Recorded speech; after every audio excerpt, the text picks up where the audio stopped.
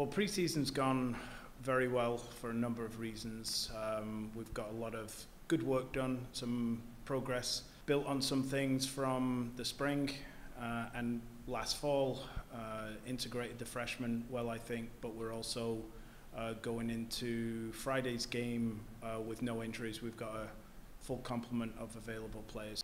I could not be more excited to be back and, you know, hopefully end on a high note here at Lafayette. We're all excited to be back and ready to work hard, and I think that we have a lot of potential and we can't wait to see what our team can do this season.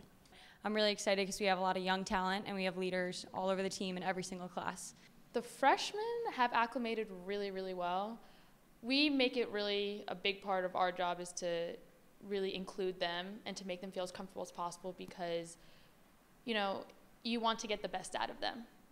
And if they're comfortable, then they'll probably play their best. But for the most part, they're doing pretty well. It's the one thing right now I cannot give the freshmen is the experience of the juniors and seniors. They have to obviously uh, take time to gather. But we also didn't ultimately reach our goal last season either. So there's plenty of us to uh, look forward to and plenty of things that we're we're looking to attain this year that we didn't last year? I know last year we had a strong mentality. We worked really hard, and I think that we just want to take take what we worked on um, last season and bring it into this fall. Last year was big for us. Although we didn't make it to the playoffs, I think we used our record as sort of the foundation for the season. We're really looking forward to build off of that because we think that we have so much promise in this team this year where we just see a lot of the returners just growing as players. And we couldn't be more excited just to you know include the freshmen who are also all very good and all have special qualities about them. Our seniors last year had really great leadership and set us in the right direction for this year and kind of gave us a plan on what we're going to do to change our culture. I definitely think that this season will be better than last season.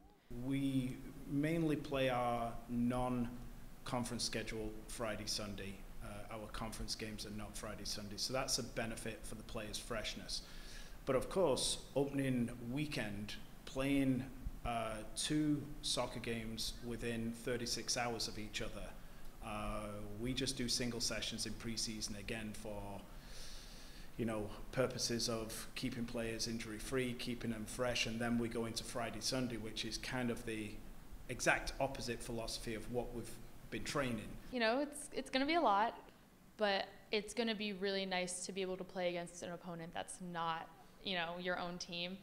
And you know, we have some really good opponents with uh, Siena, who won the MAAC last year. I think it's a really big challenge for us to have all these these five games before we even start school. I think though it will really pay off in the long run because we're going to be ready for season. We're going to have experience. Everyone's going to be ready to play.